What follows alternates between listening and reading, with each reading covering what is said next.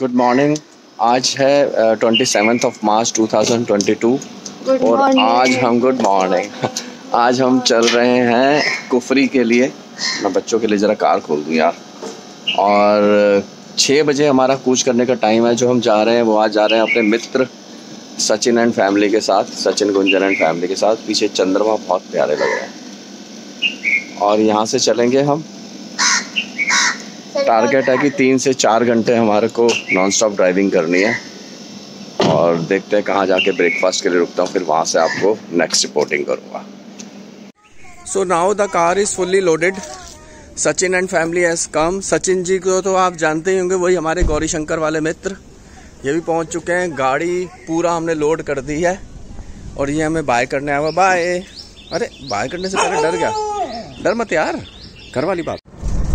सुबह के करीब 6:35 हो गए हैं। हम मुरथल क्रॉस कर चुके हैं और सूर्य देवता जी निकल चुके हैं फुल फ्लेज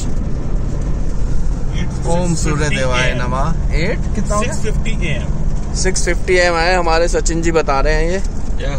मतलब सात बजने का हो गया है और हाईवे बहुत ही प्यारा हो गया है जो पहले कई जगह बन रहा था। हालाँकि अभी भी कई स्ट्रेचेज हैं जो बन रहे हैं। लेकिन हाईवे देख के और इनोवा के अंदर चलाते हुए हाईवे देखने का मज़ा ही अलग है। Innova is so comfortable car और चलाने में बहुत ही आनंद आ जाता है।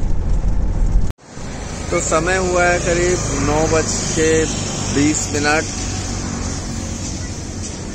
हम करीब 200 सवा 200 किलोमीटर चल चुके हैं और पहुँच गए हैं सेठी ढाबा, जो मैंने बताया था।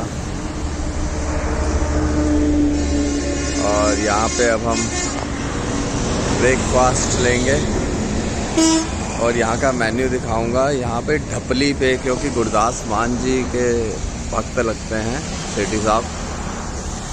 तो हम यहाँ पे करते हैं ब्रेकफास्ट ढपली पे हाँ मैं बता रहा था, ढपली पे यहाँ पे जो है मेन्यू आता है, वो मैं अभी आपको उसके पूरे दर्शन कराता हूँ। और मैं चल दिया हूँ अब सेठी ढाबा के अंदर। आप यहाँ पे जी इनके साथ खेल सकते हैं आग कबड्डी कबड्डी कबड्डी कबड्डी कबड्डी कबड्डी भाई के साथ चिलम भी फूक सकते हैं ਆਰਾਮ ਨਾਲ ਮੰਜੀ ਤੇ ਬੈ ਸਕਦੇ ਹੋ ਜੀ ਤੁਸੀਂ चरखा भी बुन सकते हो जी तुसी और तो और आप कर सकते हैं वेट लिफ्टिंग और अगर कुछ नहीं है तो अपने पोते को झूला झुला सकते हो कंधे पे बैठा के अभी हम पहुँच गए हैं सेठी ढाबा, जो ज़ीरकपुर से जस्ट पहले है। और the atmosphere over is real real real फिल्मी आपको जो भी चीज़ चाहिए यहाँ फिल्मी मिलेगी, मैंने अभी आपको बताया कि ये जो है, जो हमारा, वो है, क्या कहते हैं मेन्यू भी जो है, वो आएगा प्रॉपर आपको ढपली पे। इसकी मैं फ़ोटो भी दिखाता हूँ। और चार्जेस पे।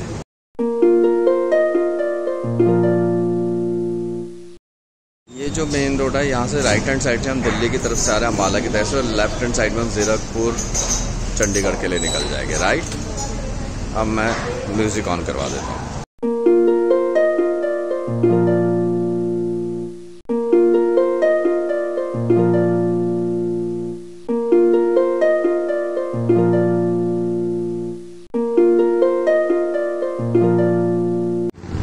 पहाड़ों की चढ़ाई शुरू हो गई है। जय कुमार जी के पास पहुँच गए हैं, क्योंकि जय कुमार जी पिलाएँगे हमें अब गन्ने का जूस। और ये चल गया हमारा डीजल इंजन। ढक ढक ढक दोबारा मार भाई। क्योंकि दोबारा मारनी पड़ेगी। हम आए हैं यहाँ से। पहाड़ों की चढ़ाई शुरू हो गई है। समय करीब साढ़े ग्यारह हो गया है। नाश्ता हमने साढ़े दस बजे करीब फिनिश किया था। और अभी जो है टाइम है वो है गन्ने के जूस का। ये ये है।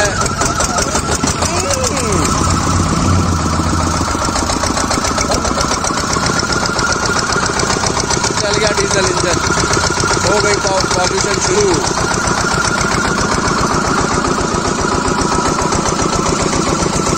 नीला मारे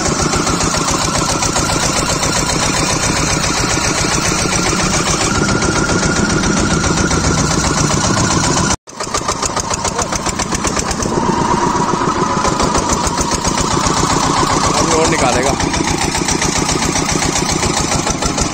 भाई जान ले ली इसकी तो और आ गए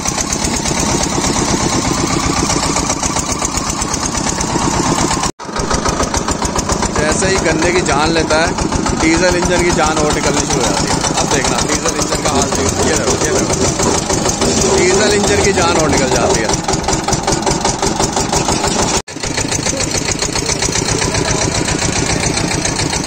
अदरक की अदरक है।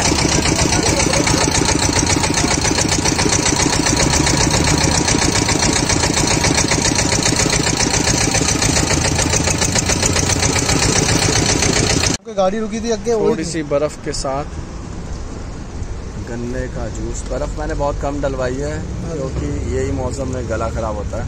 हाँ जी सर मौसम चेंज हो रहा है ना? हाँ जय कुमार जी मेरी बात से इत्तेफाक रखते हैं। यार इसको देख के तो मुँह के अंदर पानी कम रस ज़्यादा आएगा। Fresh juice. जय कुमार जी का फ्रेश जूस। नहीं नहीं, गन्ने का जूस जय कुमार जी द्वारा। एक ही साइज़ है, एक ही गिलास। सचिन जी को छोटे गिलास में पीना है, लेकिन छोटे गिलास में मिलेगा नहीं। यहाँ पे सब कुछ बिग साइज़ है, क्योंकि दिल भी इनका बहुत बड़ा है।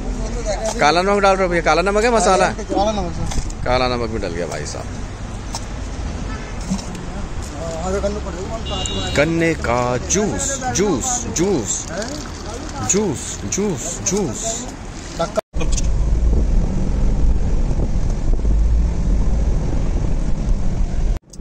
तो अब हम शिमला छोड़ के बढ़ रहे हैं। लक्कड़ बाज़ार भी हमने क्रॉस किया है। शिमला छोड़ के अब हम आगे बढ़ रहे हैं कुफरी की ओर। कुफरी करीब 25-30 किलोमीटर का रास्ता है शिमला से। और अभी अनदर वन आवर और सो हम वहाँ पे पहुँच जाएँगे। सचिन भाई टाइम क्या हो रहा है? दो बज के बीस मिनट। दो बज के बीस में है। मतलब three by three three thirty will be at Kufri. और कुफरी की जगहों के बारे में मैं फिर आपको अवगत कराऊँगा, अवगत। और कुफरी जाते वक्त एक जो सीनिक ब्यूटी है यहाँ पे, वो है ये प्लेस जहाँ पे आपको सारा का सारा रोड साइड फ़ूड भी मिलेगा और कारों की लाइन भी मिलेगी क्योंकि बहुत ज़्यादा ट्रैफ़िक हो जाता है यहाँ पे। और अब जो है यहाँ पे आपको मैगी मिलेगी, ऑमलेट्स मिलेंगे, गोलगप्पास भी आ गए पे। Other than matra kulcha.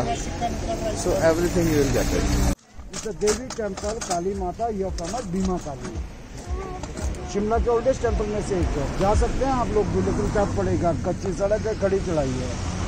Valley के बीच वाले पिक के टॉप पे देख रहे हैं। ये मेला होता है, कभी हज़ारों गाँव के लोग पैदल चल करते हैं राइट साइड में घाट ये जो ब्यूटीफुल प्लेस है, यहाँ पे फोटोग्राफी के लिए ज़्यादातर जनता जो भी शिमला आएगी और कुफरी की तरफ़ जाएगी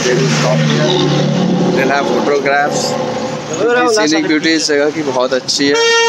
पाँच किलोमीटर तक लंबा है का जो सी डिफरेंट ग्रीन और इससे ज़्यादा सुंदर प्लेस मैं हमेशा यहाँ पे रुकता हूँ जब भी मैं कुफरी या नारकंडा जा रहा होता हूँ। और यहाँ पे मैं फोटोग्राफ्स लेता हूँ। आज ये सब आपके लिए। तो मैगी हमारी बननी शुरू हो गई है। सचिन भाई पार्ट टाइम के लिए मैगी वाले भैया बन गए हमारे। और ये मेरे लिए बना दिया तूने? और ये मेरे लिए बन गया जो मैंने, याद है आपको, पुरानी वीडियो डाली थी। जब हम मनाली से वापस वापस आ रहे थे। और ये अब कह रहे हैं, भैया नहीं डालना।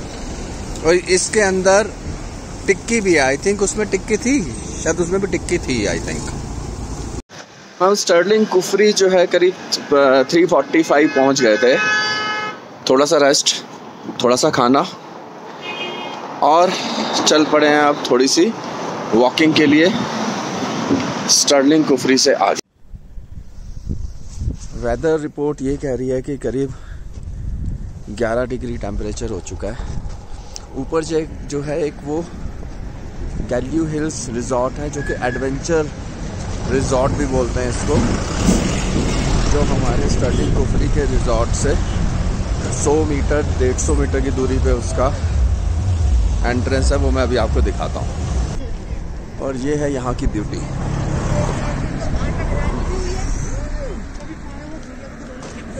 this is something beautiful यहाँ से नीचे भी रास्ता जा रहा है, कच्चा, पता नहीं कहाँ जा रहा है। और ये सारी वैली है जो हमारे रिजॉर्ट की बैक साइड पे है। जैसे जैसे मैं आगे बढ़ता जा रहा हूँ, कुदरत के नज़ारे उतने ही सुंदर होते जा रहे हैं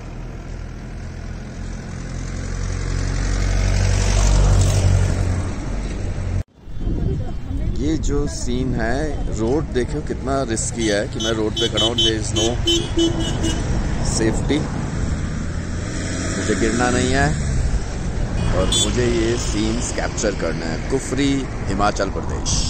ये है जो मैं आपको बता एडवेंचर रिजॉर्ट्स की एंट्री ऊपर सारे गेम्स वगैरह हैं जो हमारे दिल्ली में आपको मेट्रो वॉक के अंदर, एडवेंचर आइलैंड के अंदर मिल जाएँगे और जैसे पुराना ओल्ड टाइम अपू घर में जैसे गेम्स होते थे। एंड वॉकिंग इज़ चालू। चलते रहो चलते रहो चलते रहो। Tent hotels by Treebo Fagu farms this one तो ये है कश्मीर। कश्मीर नहीं, शिमला, कुफरी के नजारे। इसी इसी रूट पे हमारे को देखो एक और मिल गया Snow King Retreat Fagu top Shimla काफ़ी अच्छे अच्छे यहाँ पे रिजॉर्ट्स एंड होटल्स वगैरह बने हुए हैं। और ये है एडवेंचर एडवेंचर पार्क जो है, या रिजॉर्ट जो है, उसके नज़ारे। वन ऑफ़ द और इस हाइट पे अगर हम ये सीन देखते हैं। मुझे याद है, मैं जब लास्ट टाइम आया था तो मुझे बहुत डर लगा था। ये जो आपको हट्स नज़र आ रही हैं, ये बेसिकली नेट है, जो कि पौध तैयार करने के लिए, क्योंकि जब डायरेक्ट धूप लगती है छोटे छोटे पौधों को जब वो निकल रहे होते हैं तो वो कुमला जाते हैं, मर जाते हैं। तो पौध को तैयार करने के लिए उनको छाया दी जाती है, पानी तो दिया ही जाता है। और उसके बाद वो पौध को ट्रांसफ़र किया जाता है ये स्टेप फ़ार्मिंग के लिए।